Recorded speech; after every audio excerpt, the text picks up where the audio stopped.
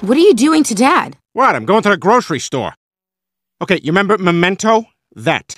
Don't forget the cucumbers, Peter. All right, where's that? Oh, you're right, because of that thing we started doing. By the way, speaking of which, best O ever. I felt dirty for an hour, but it's gone now. Now I just can't wait for night. I wish you hadn't said that at full volume in front of our children. I can't tell if they have a really good marriage or a really bad one. I feel like it's weird but strong.